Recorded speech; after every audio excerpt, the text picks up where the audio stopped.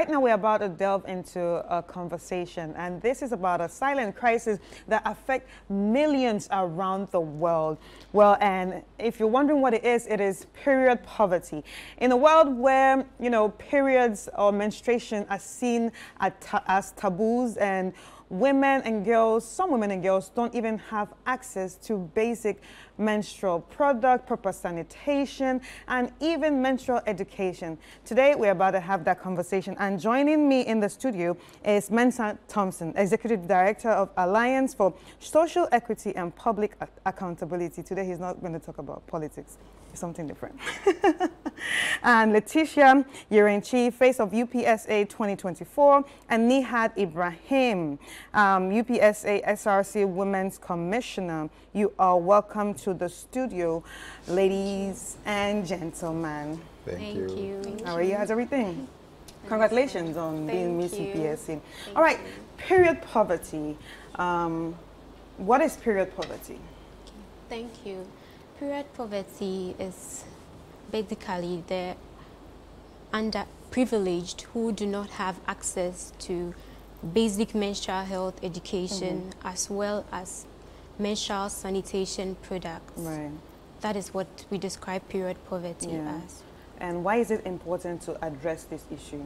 It is important to address it because we all need to have equal access to basic menstrual health education as well as menstrual health sanitation products. Mm -hmm.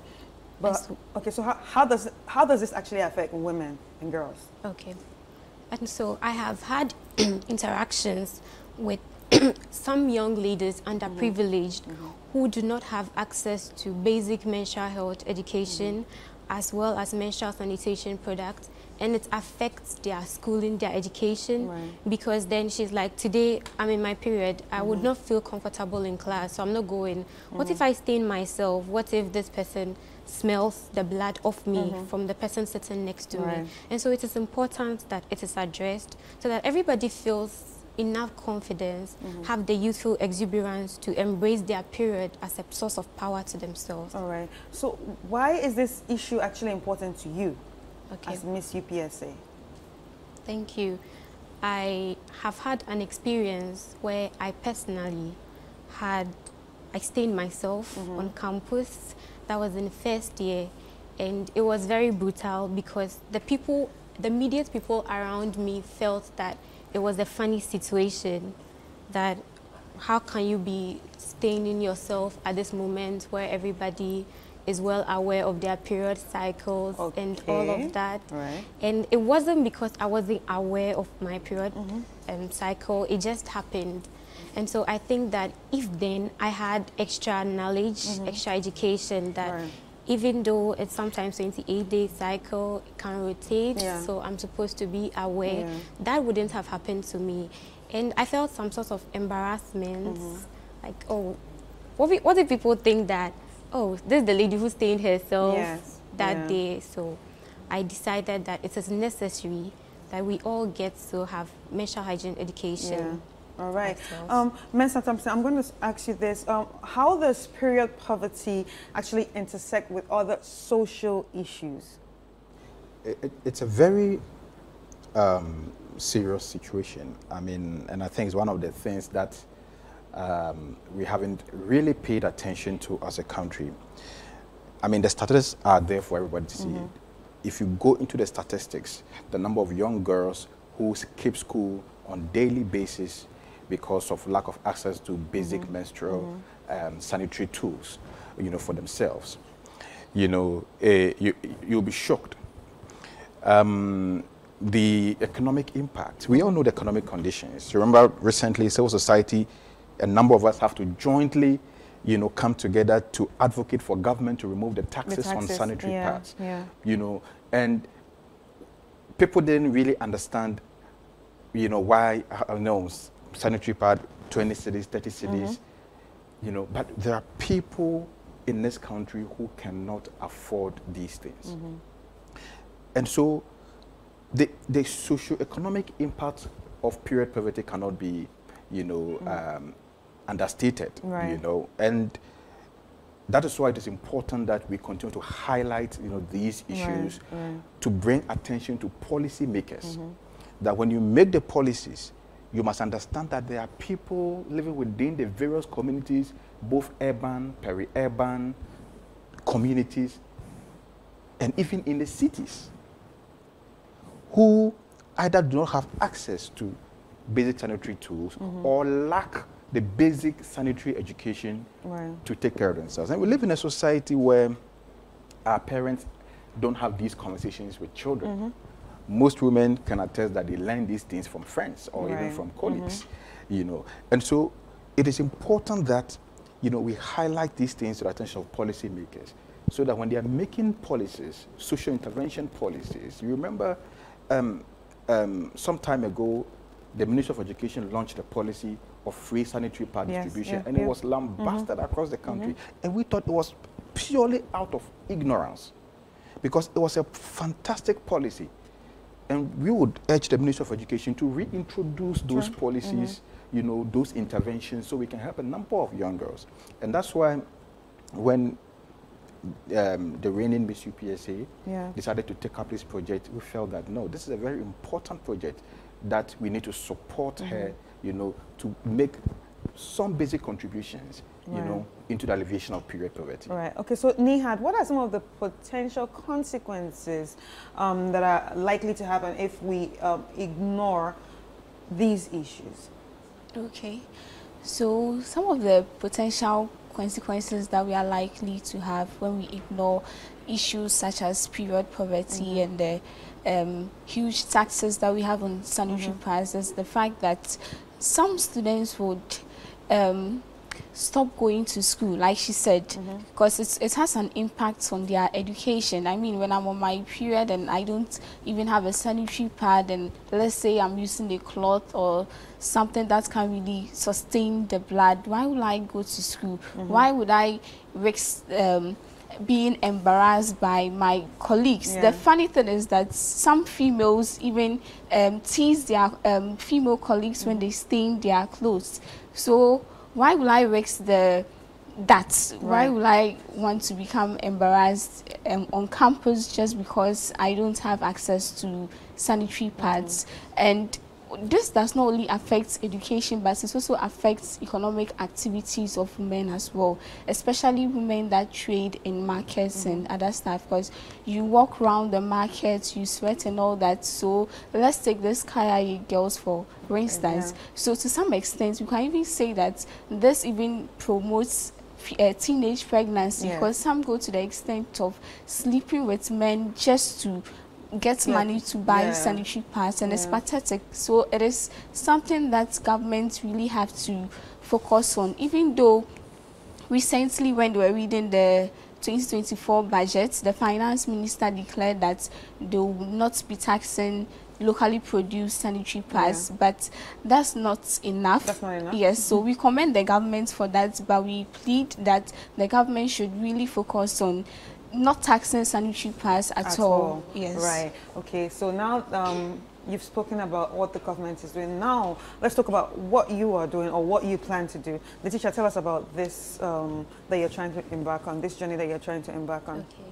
So I am starting an initiative and I'm going to be focusing more on provision of sanitary pads, like donation, the form of donations to underprivileged in the society. And even some of the privileged in, let me take UPSA for instance. Right. So I'm going to introduce like um, sanitary pad pa- banks Okay. where you drop a coin in the bank and you get to take a sanitary pad. That is One. so because Okay. if you just leave the sanitary pad there, somebody might just take it Yeah. away. Take everything. But if it is in a bank, it's safe. Everybody gets to use it as Mm-hmm. and when they need it. And for the underprivileged in the society, there's going to be lots of donations to the schools so that they can also have access, the ladies, Mm-hmm. the young girls can have access to menstrual hygiene products as well as menstrual hygiene education. Because like Mr. Thompson said, not all of us would get that education from our Right, mothers, our siblings, some of us who don't have big sisters, mm -hmm. nobody's going to tell us. You're going to have to find out from your friends.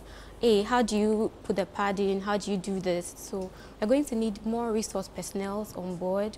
We're going to brief the students, the ladies that, look, this is what you do on your period. This is not what you're not supposed to do on your period. You're supposed to make sure that during your period, you're taking your bath, you're doing all of that to make sure that you're, you're actually keeping your hygiene safe by right. doing so. Mm -hmm. And so it's all about the education and the provision of menstrual hygiene products. All right, that so how are you going pad. to um, get these products?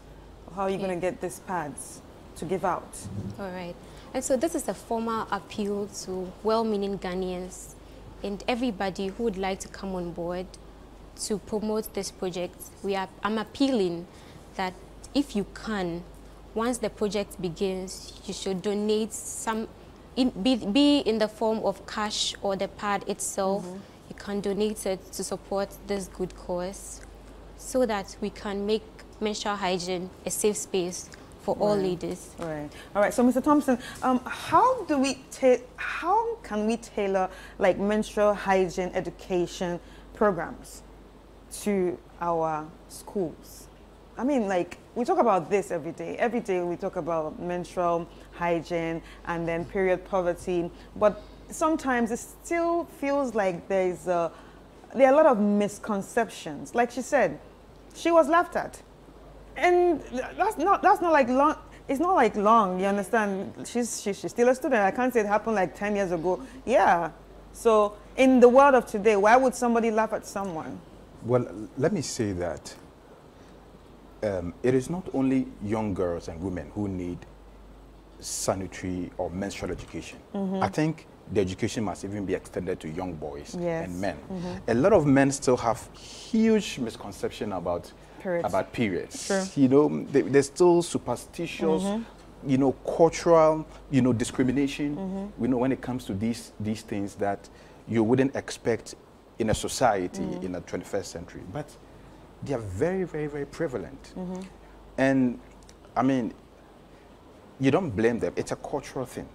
But I think that once the education goes down, um, you know, from the basic level to the secondary level, you know, there's continuous public education. Right. So people understand that periods are very normal. Right. It's a woman having her monthly thing. Yeah. And it is part and parcel of a woman. It is through which all of us come from because sure. without that, woman, women cannot make babies. Yeah. A lot of men don't understand. They think it's an abomination. Mm -hmm. It's a it's a crime that a woman yeah. have her period. You can't even enter some churches. Yes, you can't even do certain things. Yeah. You can't even. You can't cross rivers. Yes, yes. you know. And, yes. and, and so it, when you're on your period, you can't cross the other side. Even if it's burning at, behind you. And, and it's absurd. And you can imagine some of the communities where basic children have to cross water mm -hmm. to go to school. And then when on their period, they say because you're on your period, you can't sit on a boat to cross the water to go to school. So the public education, and I think that uh, um, uh, there's bits and pieces of education out there, but it's not enough. And that's why um, I want to commend Citi mm -hmm. for bringing this conversation yeah. up again.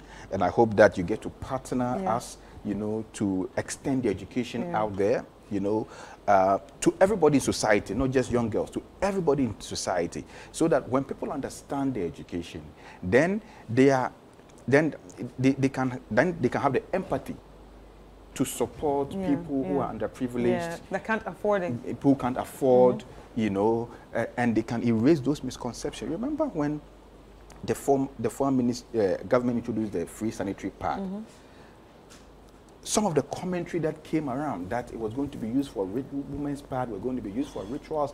All these things affect, you know, people's desire to either support such yeah. initiatives or to donate. You know, so we are appealing, you know, to benevolent Ghanaians, to companies, especially those who produce these um, parts, yeah. uh, uh, uh, parts, you know, to reach out and donate as part of their corporate social responsibilities. Mm -hmm. um, entities who cannot donate part, but they can donate other materials, such as sanitizers yeah. and things yeah. that are needed yeah. during all this period, can also reach out right. and support this initiative so that we can make little, little impact and contributions mm -hmm. in helping alleviate uh, period, poverty, poverty. Right. across the country. Right. So Nihad, how is the Women's Commission of UPSA um, part of this? Okay, so the Women's Commission of UPSA is generally in charge of promoting the welfare of students on campus, mm-hmm. especially mm -hmm. female students.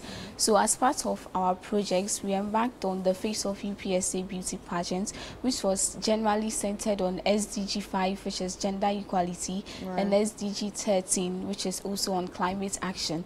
So our contestants were made to choose projects that were centered on these areas mm. and Letitia came up with um, the project on period power mm. and it is something that we all embrace since it's a challenge that most students face and even aside that as part of our duties as the Women's Commission we've been able to partner with Reflow Sanitary Pads right. where we provide sanitary pads for students at subsidized prices. So instead of getting the sanitary pad for 20 cedis, you can get it at 12 cedis wow. on campus. Mm -hmm. Yes. And like she said earlier, we are also embarking on providing pad banks on campus. So it will be in partnership with her mm -hmm. as the face of UPSA, just to make sure that students on UPSA will be able to have access to affordable sanitary pads. Right, yes, right, please. right. I think I think you are doing well. Well Thank done, you. well done. But how can people actually con um, contribute or send whatever they have?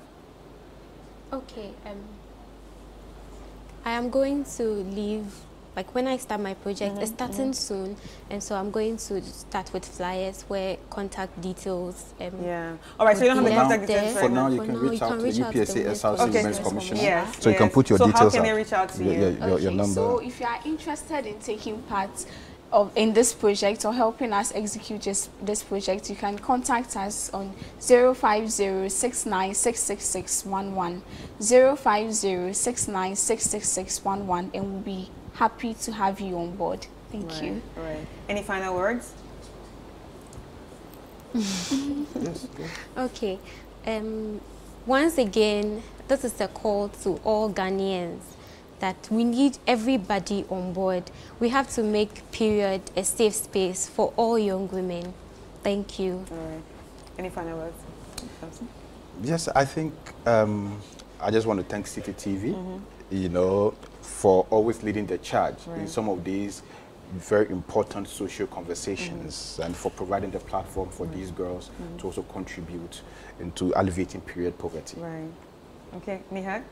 Okay, so I'd like to thank Citi TV too as well for giving us this wonderful platform to talk about this sensitive topic that has been bothering most women mm -hmm. and I would like to entreat all Ghanaians to also come on board. You don't have to um, be a wealthy person before you take part of this course, but just one sanitary pad, you can change your life. Thank right. you. Okay, thank you so much. Thank you so much, ladies and gentlemen.